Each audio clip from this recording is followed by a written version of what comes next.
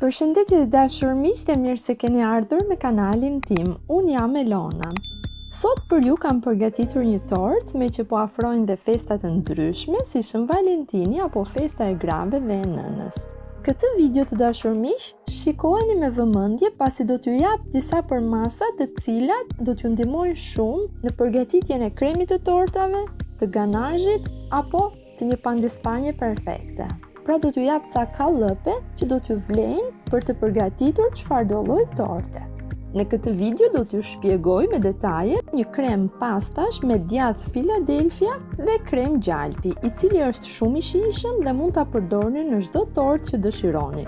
Është një krem djathi me të cilin mund të bëni mbushjen e tortave, gjithashtu edhe veshjen apo dekorin e tyre. Le të fillojmë nga puna. Së pari të dashur miq do të fillojmë me kekun. Do të bëjmë një kek të shijshëm dhe të lehtë si pupël. Në përgjithësi, kekët me gjalp apo me vaj janë të rëndë dhe për këtë arsye mbushjet e tortave me kekë të tillë i bëjnë mbushje të holla. Me këtë lloj keku që do të bëjmë sot, pra që është shumë i lehtë, do të bëni mbushjen me krem sa të dëshironi. Si fillim vezët i kemi në temperaturë ambienti, Janë nxjerrë nga frigoriferi 45 minuta ose 1 orë më përpara.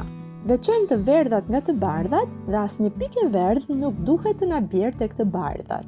I shtojmë një puqer kripë dhe fillojmë dhe i rrahim. Kur e shohim që fillon dhe shkumon, gjysmën e masës së sheqerit ia shtojmë nga pak duke e rrahur derisa të përftojmë një shkumë që nuk bie nga tasi. Ky proces të dashur miq zgjat 7 minuta, jo më pak, pra mos u ngutni.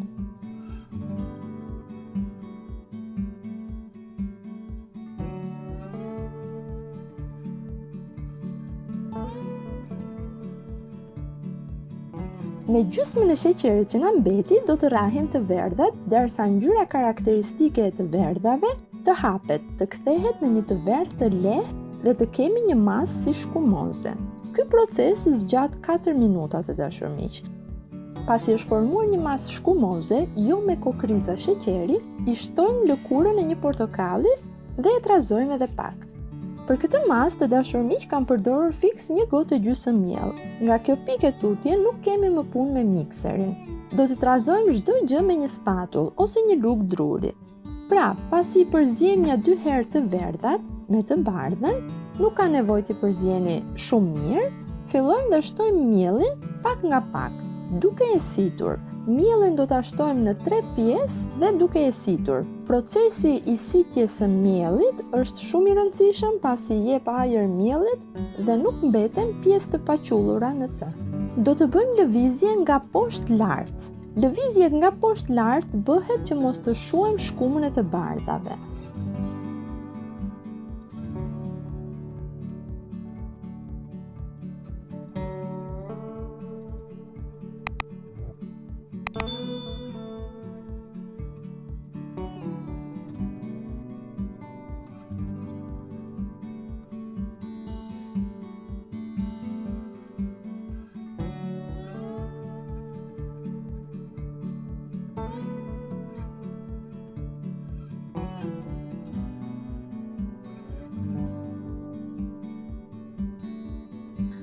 Masën e ndajmë në mënyrë të barabartë në dy kalëp të vegjël, prej 16 cm. Nëse do e bëni në një kalëp normal keku, nga ata standardët që janë me kapse apostafat për kekun që hapen anët pra, do të vendosim po njësoj letër, siç kam vepruar me këta dy kalëp, por harxhën do ta shtojmë të tërën.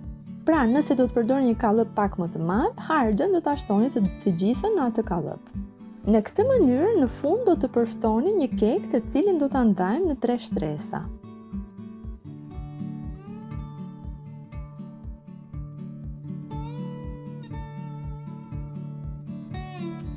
E fusim në furrë në temperaturën që pjekim zakonisht kekun, jo në një furrë të paranxehur, Dhe këta të mitë, meqë ishin kalëp të vegjël, u poqën shpejt, madje sa desh i harrova, sepse e kisha caktuar furrën me orarin e zakonshëm, dhe kur i pashë që po ndërronin ngjyrë i nxora direkt.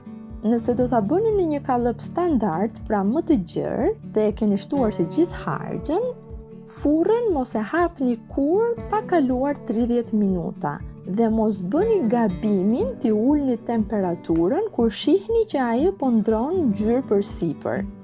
Është më mirë t'ia presim sipërfaqen e sipërme nëse ka ndërruar ngjyrë në formë të atillë që nuk na pëlqen, sesa të përftojmë një kek i cili do t'na bjerë, do t'na bëhet gropë. Kur i nxjerrim nga furra, i kthejmë përmbys në telin e sobës dhe i lëmë ashtu derisa të ftohen. Të dashur miq, mirë është që kekun ta bëni që një ditë më përpara dhe ta bëni në darkë dhe t'i vendosni në frigorifer. Pasi keku i cili ka pushuar një natë në frigorifer, të nesërmen pritet më kollaj.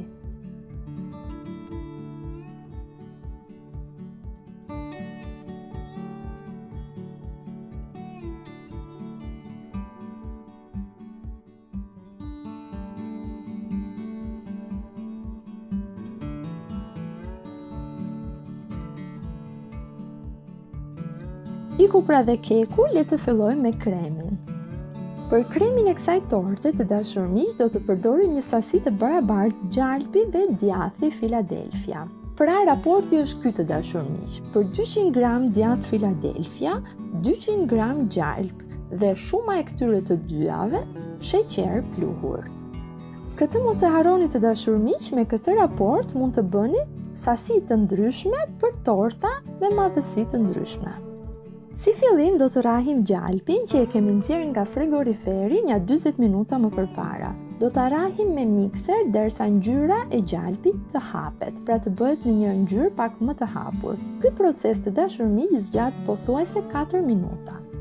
Shtojmë sheqerin pluhur dhe e trazojmë një herë me telin rrahës që t'ia fusim për brënda dhe në këtë mënyrë nuk do t'na fluturojë si një re pluhuri i gjithë sheqeri përsipër.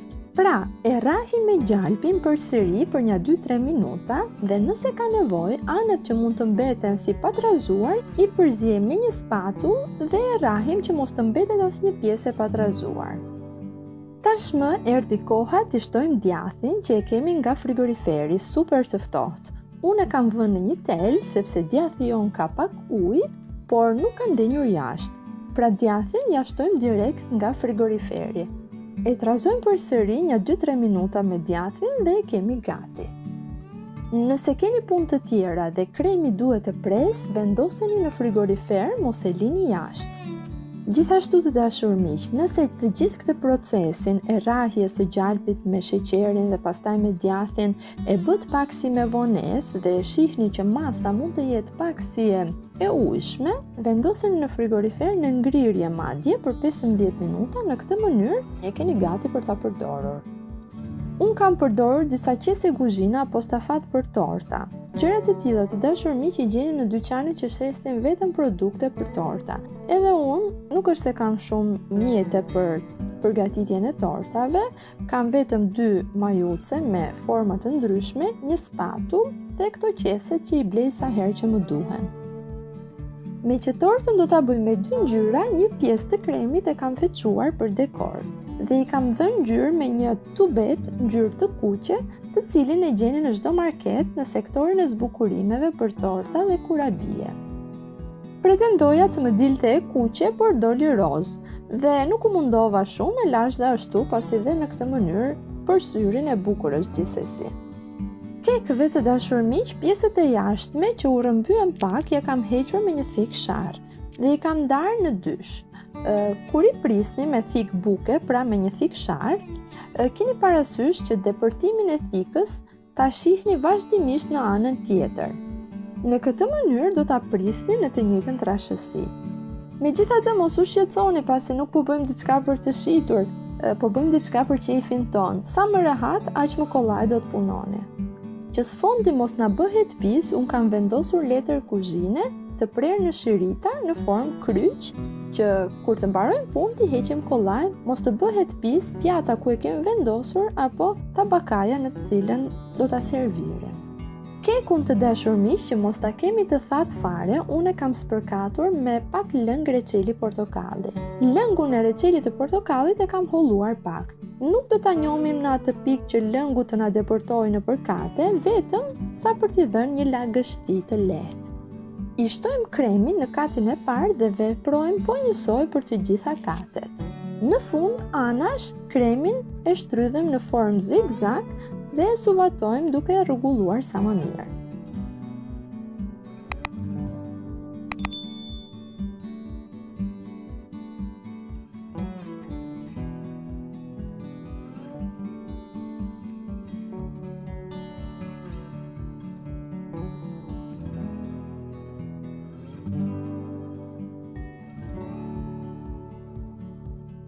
Kjo është dora e parë të dashur miq dhe nuk ka shumë rëndësi. Pasi ta keni mbaruar, e vendosim në frigorifer për 30 minuta ose në ngrirje për 15 minuta, bashkë me kremin që mbeti.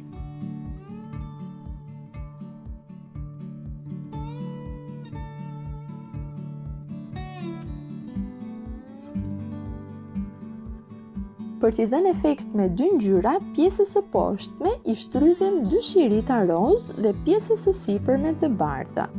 Nëse do e bëni vetëm me spatull, kini kujdes që me majën roz mos të prekin pjesët e bardha. Spatullën mund ta fshini herë pas here.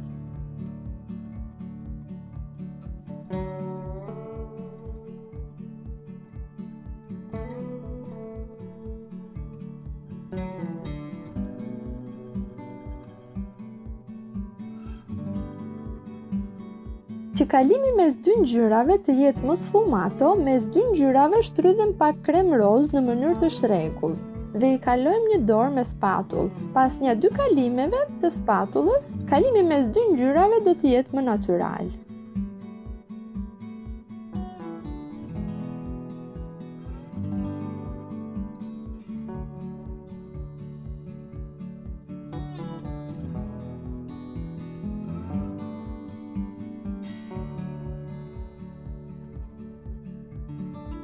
Të dashur miq, unë kam përgatitur dhe ganazh për t'i bërë disa zbukurime dhe për t'ia derdhur përsipër. Por ju jeni të lirë mund ta zbukuroni dhe thjesht me kremin e pastës që përdorëm për brenda. Për ganazhin të dashur miq kemi këtë raport 100 gram çokollatë, 50 ml pana dhe 25 gram gjalpë. Pra, sa gjysma e çokollatës pana dhe sa gjysma e panës gjalpë. Mos e harroni këtë raport, mund të përgatisni masa të ndryshme ganazhi. Unë përdora 100 gram çokollatë dhe më mbeti një pjesë të cilën e përdora për kurabije. Për zbukurimin e kësaj torte, 60 gram çokollatë është e mjaftueshme. Ngrohim panën në mënyrë që të jetë e nxehtë, por jo të ziejë. Në panën e nxehtë shtojmë çokollatën dhe e trazojmë mirë derisa të shkrihet. Pa e humbur të gjithë nxehtësinë pana, shtojmë edhe gjalpin dhe e trazojmë mirë. Gjalpi i jep një shkëlqim ganazhit dhe në këtë mënyrë nuk do të mbetet mat. Ganazhin të dashur miq nuk do ta fusim në frigorifer, do ta lëmë në temperaturë ambienti. Nëse ganazhi ju mpikset pak dhe nuk është i rrjedhshëm gjatë kohës që ju jeni marrë me diçka tjetër, me benmari e kthejmë në formë të rrjedhshme. Pra, nuk do ta vëmë në zjarr enën ku kemi ganazhin, por do ta vëmë mbi avullin që formohet nga zierja e ujit dhe do ta trazojmë vazhdimisht derisa të lëngëzohet. Tortën e nxjerrim nga frigoriferi dhe përsipër i derdhim ganazhin e lëngshëm.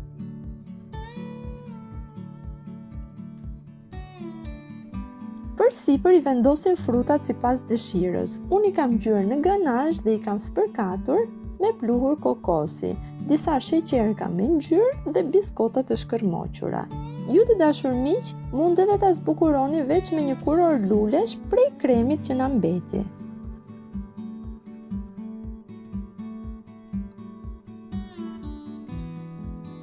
Që kremi të na dalë me dy ngjyra, kam vepruar kështu.